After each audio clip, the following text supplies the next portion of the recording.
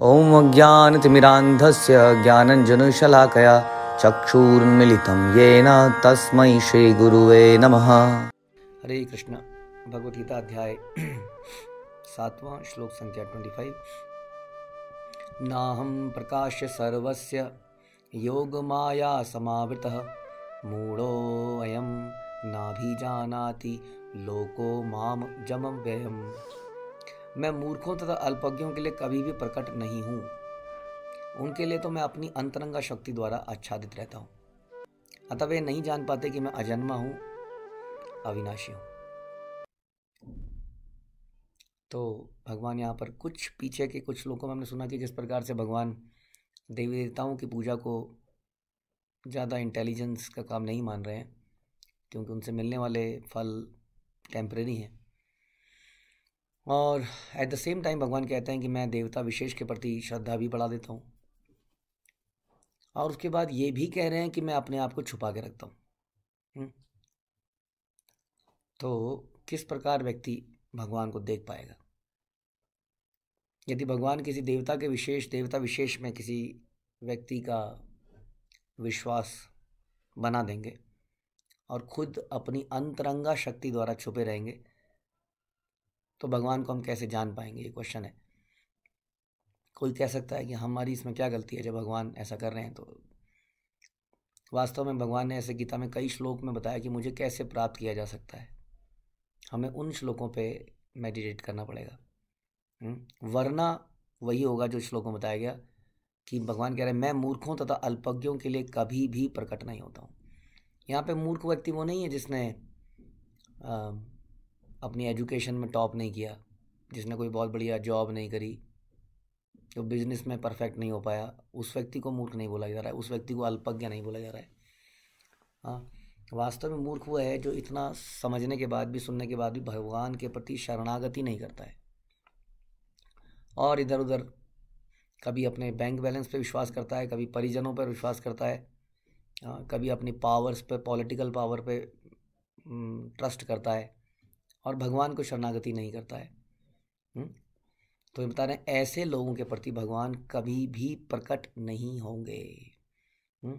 जो अपने पर, अपनी शक्ति पर, अपनी किसी भी शक्ति पर ज़्यादा ट्रस्ट करता है और भगवान की शरणागति नहीं करता है हाँ तो भगवान उसके लिए अपनी अंतरंग शक्ति तो भगवान की अंतरंग शक्ति जो माया शक्ति है, वो बड़ी पावरफुल है देवी ये गुणामयी, मम माया, दुरत्या कृष्ण सेज की ये अनकॉन्करेबल है कोई व्यक्ति संसार में इसको जीत नहीं पाया।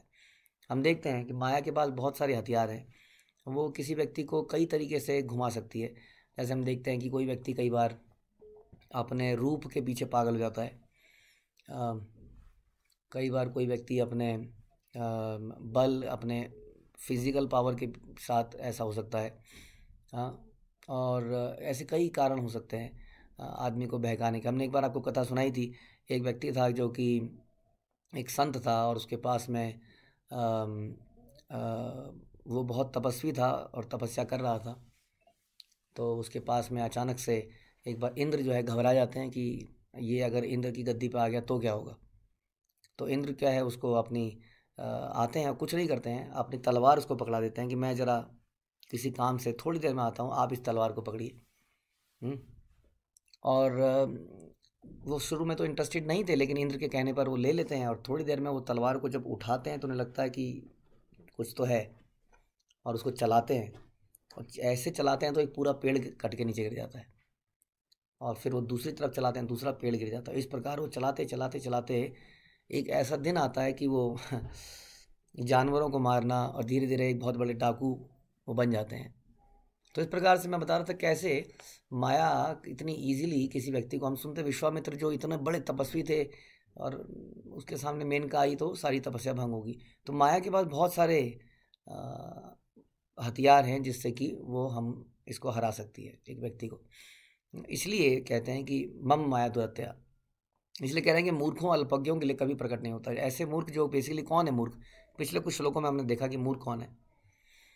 तो हमने समझा मूर्ख वो व्यक्ति है, जो व्यक्ति टेम्परेरी बेनिफिट्स के लिए इधर उधर या तो खूब मेहनत करता है हाँ नास्तिक ही है बिल्कुल नास्तिक है, सोचता है कि मैं कमाऊँगा, मैं खाऊँगा, मैं इन्जॉय करूँगा।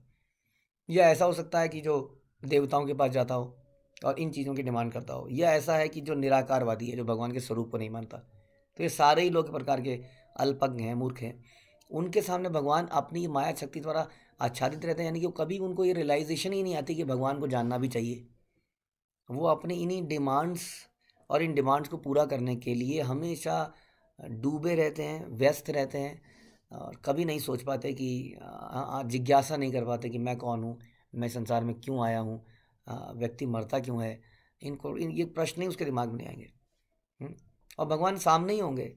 ऐसी कितनी सिचुएशन है। आपने देखा कि शिशुपाल भी वहीं पर था और बीच में पितामह भी वहीं थे।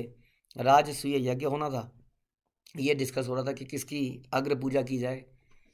भीष्म पितामह ने बोला कि कृष्ण ही पर, परमेश्वर है। और भीष्म पितामह कितने सीनियर व्यक्ति थे। उनका कोई अगर पूजनीय है तो केवल कृष्ण है। और शिशुपाल ने कहा ये ग्वाला पूजनीय है? जिसकी जात का पता नहीं ये क्षत्रिय है या वैश्य है क्या ये तो पता ही नहीं है। और बोलता गया बोलता गया बोलता गया कितनी बुराइयाँ निकाल दी। वहीं पर बैठे बैठे देखिए। एक व्यक्ति देख पा रहे हैं कि ये ईश्वर है और दूसरा व्यक्ति नहीं देख पा रहा है कि ईश्वर है? तो यही होता है। हमारे जीवन में भी कितनी बार भगवान का हस्तक्षेप होता है।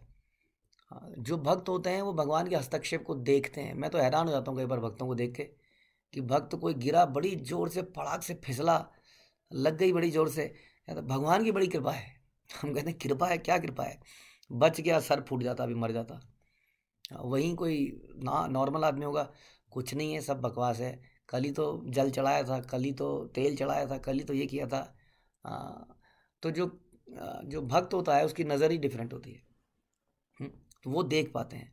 इसलिए श्लोक आता है प्रेमान जो न चरिता भक्ति विलोचने ना। जब हमारी आँखों में प्रेम का अंजन विश्वास का अंजन लगा होता है तब हम भगवान के दर्शन कर पाते हैं। उनकी हस्तक्षेप हमारे जीवन में महसूस कर पाते हैं। नहीं तो हम यही कहते रहते हैं खुश तो बड़े हो तुम। तुमने ऐसा कर दिया। और पिक्चरों को देख देख के हम भी ऐसा सीख गए हैं। हाँ, हमें भगवान के प्रति कृतज्ञ रहना चाहिए। वी कैनॉट चैलेंज कृष्णा मेरे साथ ऐसा क्यों हुआ? हम्म, क्योंकि मेरे साथ जो भी हुआ उसके कर्मों का कारण मैं ही था। तो इसलिए यहाँ बता रहे हैं कि ऐसे अल्पज्ञ मूर्खों के सामने भगवान कभी प्रकट नहीं होते अपने असली रूप में। वो तो भगवान तो उनको कुछ प्रलोभन दे के ही इधर उधर साइड कर देते हैं।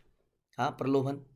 जैसे मैंने बताया किसी सुंदर पति या सुंदर पत्नी का प्रलोभन, धन का प्रलोभन, ज्ञान का प्रलोभन, और वो व्यक्ति पूरे ज़िंदगी उसी में लगा रहता है। हम देखते हैं बहुत सारे बुद्धिजीवी, यहाँ कई बार बहुत बड़े कवि हैं या बहुत बड़े लॉयर हैं या बहुत बड़े इंजीनियर हैं, उनको उनको अपनी इस एजुकेशन का एरिस्टोक्रेसी का, अच्छे जन्म का, अच्छे रूप का इतना ऑब्सेशन होता है कि वो इसके बियॉन्ड निकल ही नहीं पाते। उसको समाज में बड़े पहचान वाले व्यक्ति हो जाते हैं। कई लोग उन्हें जानते हैं, उन्हें बुलाते हैं रोज़ रोज़ उन्हें चीफ गेस्ट बनाते हैं, कहीं पर कुछ करके बुलाया जा रहा है तो वो जा रहे हैं, वहाँ पर गिफ्ट दे रहे हैं और इस इल्यूज़न में वो पूरा जीवन बिता रहे हैं और नाउ अभी टोटली इज़ अनअवेयर कि क्या चल रहा है। कि मैं कौन हूँ, क्या चल रहा है, क्या नहीं चल रहा है। तो इस प्रकार बता रहे हैं कि अल्पंगों के लिए मैं कभी प्रकट नहीं होता। इसके लिए तो हमें शरणागति करना पड़ेगा, झुकना पड़ेगा? हमें अपनी पोजीशन से नीचे आना पड़ेगा, हमें सोचना पड़ेगा वो भगवान हैं हम दास हैं, तब हमारे सामने भगवान प्रकट होंगे। भीष्म पितामह की जैसे हम पोजीशन बता रहे हैं कि कितने पावरफुल व्यक्ति जो आज तक किसी से युद्ध में नहीं आ रहे जिनको कोई मार नहीं सकता। इच्छा मृत्यु वाला व्यक्ति कह रहा है कि ये भगवान हैं हाँ और कैसे अपनी पोजीशन से नीचे गिर के इनकी पूजा करी जाए? जबकि भीष्म पितामह कह सकते थे, अरे, ये कृष्ण तो अभी पैदा हुआ। ऐसा सुनते हैं हम कि लगभग 125 वर्ष के थे, जब ये युद्ध हो रहा था। संसार में आए भगवान को 125 वर्ष हुए थे। और भीष्म पितामह की उम्र सोचिए, क्या उम्र थी उनकी? अब वो कहते मैं हूँ यहाँ सबसे बड़ा। मेरी पूजा, वो व्यक्ति कह रहा है, वयोवृद्ध व्यक्ति कह रहा है हम्म? तो इसलिए जब हम अपनी, कई बार हम कहते हैं, हम सबसे सीनियर हैं, सबसे बड़े हैं एज में, कई सबसे पुराने भक्त हैं, सबसे अमीर हैं, जो भी है, हमें सुपीरियोरिटी कॉम्प्लेक्स अक्सर हो जाता है, जो कि हमें झुकने नहीं देता, और जिस कारण हम भगवान को पहचान नहीं पाते तो वही बता रहे हैं, उसके सामने भगवान हमेशा छुपे रहेंगे अतः वे नहीं जान पाते कि मैं अजन्मा हूँ, मैं अविनाशी हूँ हम्म? तो भगवान ये क्लियर कर रहे हैं कि मेरा जन्म हुआ नहीं है हाँ अगर आप कहें कि मैं तो छोटा हूँ, भगवान तो छोटे हैं। कई लोग कहते हैं, जी, राम जी बड़े थे, राम जी पहले आए। हाँ तो वो बड़े हो गए। हाँ तो दिस इज़ नॉट ये कोई भगवान की उम्र नहीं निकाल सकते। वो तो आ रहे हैं और जा रहे हैं। इज़ नॉट हाँ वो पैदा नहीं हो रहे हैं। पैदा शरीर होता है। भगवान का शरीर नहीं है, वो सच्चिदानंद शरीर है। दिव्य शरीर है। हमारे जैसा शरीर नहीं है। इसलिए यहाँ बता रहे हैं कि यदि भगवान को समझना है तो भगवान की कृपा के बिना नहीं समझ सकते। उनकी कृपा मिलेगी जब हम उनके प्रति शरणागत होंगे, जब हम उनके गुरु, जब हम उनके, जब हम गुरु और भक्तों के प्रति शरणागत होंगे, तब भगवान अपने आप को रिवील करेंगे। By any analytical knowledge by doing any doctorate हम भगवान के विषय में रिसर्च नहीं कर सकते। भगवान रिसर्च का विषय नहीं है। हाँ भगवान श्रद्धा का, सरेंडर का विषय है। और ऐसा नहीं है कि श्रद्धा करते रहिए, इसका प्रैक्टिकल कैसे पता चलेगा? करके देखिए, भक्तों के जीवन से पूछिए, वो बताएँगे कि हाँ मैंने भगवान को कैसे कैसे महसूस किया अपने जीवन में? तो ये वो विषय है। इवन भौतिक संसार में भी हम श्रद्धा ही रखते हैं। इवन साइंस की किताबों में भी हम श्रद्धा ही रखते हैं। हम जितने भी एक्सपेरिमेंट्स हैं, उनको देखते नहीं है कभी, क्योंकि वे बिलीव कि ये सही बोल रहे होंगे। उसी तरह से शास्त्रों में यदि हम बिलीव करें, हरे कृष्ण महामंत्र का जप करें नियमों का पालन करें तो हम सब अपने जीवन में परिवर्तन को देख सकते हैं। और ये परिवर्तन अगर भगवान द्वारा नहीं किया जा रहा है तो कैसे, कौन कर रहा है इसको? इतने दिव्य परिवर्तन। एक चरा, एक व्यक्ति जिसके पास चालीस रुपये थे हाँ वो चार हज़ार करोड़ या समथिंग आई डोंट नो कितना बड़ा संसार में मंदिरों का एक ग्रुप बना दे हाँ इतने मंदिर बना दे। It is not possible by यानी सुपर ह्यूमन इंटरवेंशन तो श्रद्धा अगर हम करेंगे तो भगवान अपने आप को रिवील करते हैं। यदि हम मूर्ख बने रहेंगे, किस कारण से? इंद्र तृप्ति के चक्कर में, देवताओं के पास जाने के चक्कर में, या निराकारी के होने के कारण? तब भगवान कभी हमारे सामने रिवील नहीं होंगे, और हम ऐसे भ्रम में पूरा जीवन बिता देंगे। इसलिए भगवान कहते हैं, मामेव ये प्रपद्यंते मायामिताम तरंतिते जो मेरी शरण में आता है हाँ उसी के सामने भगवान रिवील होते हैं वास्तव में। और मैंने आपको बताया था पहले भी कि ईशोपनिषद में भी यही श्लोक आया, कि जिसमें बोला गया कि हे भगवान, आप समग्र ब्रह्मांड के पालक हैं। आप सर्वोच्च धर्म हैं। अतः मेरी प्रार्थना है कि आप मेरा भी पालन करें। लेकिन आपका दिव्य रूप योग माया से आवृत है। ब्रह्म ज्योति आपकी अंतरंगा शक्ति का आवरण है। तो एक तो बहिरंगा शक्ति से का आवरण है। देखिए, समझिए, बहिरंगा शक्ति का आवरण हमने डिस्कस किया। माया क्या शक्ति रखती है? पूजा, प्रतिष्ठा, लाभ। हाँ कोई हमें पावर दे दी, हम इल्यूजन हो गए। हमें रूप दे दिया, हम पागल हो गए। हमें बल दे दिया, हम पागल हो गए। हमें ज्ञान दे दिया, हम पागल हो गए। तो ये हो गया अंतरंगा, ये हो गई बहिरंगा शक्ति का आवरण। बहिरंगा शक्ति के आवरण से कोई निकल भी जाता है यदि, समझ जाता है कि ये संसार में ये सब नकली है, झूठ है। उसके बाद एक और आवरण है, वह है योग माया का आवरण। हाँ उसमें ब्रह्म ज्योति का आवरण।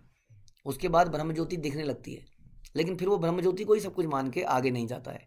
तो इतना मुश्किल है, यदि हम खुद से प्रयास करेंगे। तो इसलिए कह रहे हैं कि आप ब्रह्म ज्योति आपकी अंतरंगा शक्ति है, कृपया इस तेज को हटा लें, क्योंकि यह आपके सच्चिदानंद विग्रह के दर्शन में बाधक है। तो भगवान का क्या रूप है? सच्चिदानंद eternal full of knowledge full of bliss ये भगवान का असली स्वरूप है। तो भक्त प्रार्थना कर रहा है कि आप हटाइए प्लीज़ यानी कि हम प्रार्थना कर सकते हैं। हम प्रार्थना करना हमारा काम है। अवश्य अवश्य प्रार्थना करना चाहिए कि भगवान, मैं आपके लिए प्रार्थना कर रहा हूँ, प्रयास कर रहा हूँ। आप कृपया अपनी इस माया को, चाहे योग माया है, चाहे महामाया, हटाइए ताकि मैं आपके स्वरूप के दर्शन कर सकूँ। तो यही मेरी भी आपसे प्रार्थना है कि प्रार्थना कीजिए और साधना कीजिए। भगवान अवश्य ही मिलेंगे। हरे कृष्णा। शिल प्रपात की जय।